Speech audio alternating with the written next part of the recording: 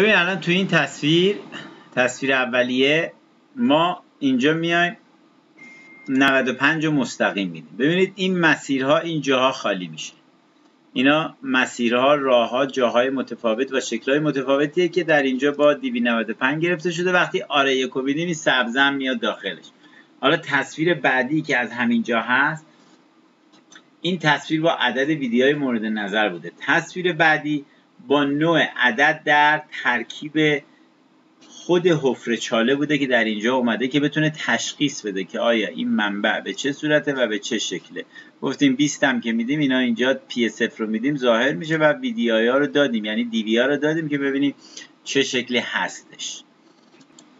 حالا این تصویر دقیقا شبیه عدد 95 یا ویدیوهای 95 زده شده همون منبع فقط واسه اینکه بخوای اون جریان رو با عدد ویدیوهای مربوط به چاله ها حفره ها مسیرها تشخیص بده اپراتور.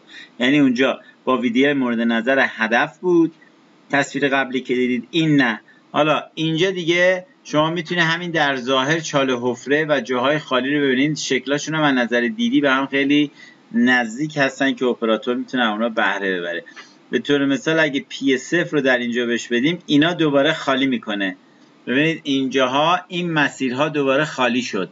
بدون اینکه دیوی 95 رو بزنیم. چرا؟ چون این خود حفره خود چاله خود عدد ویدیای بر روی کودهای 100 و به طور مثال برای کانال روی سی یا بر روی 45 گرفته شده. این چیزیه که در اونجا تشخیص داده شده و این میل خط هایی که می‌بینید تغییرات و این مثلثه یه منبعیه. این دوتا مثلث یه منبعی از اون هدف اهدافه که خب بعد ویدیوهایش بدن در از فیلتر آنالیز کنن در اینجا قابل تشخیص باشه که چه منبعی در اونجا هستش.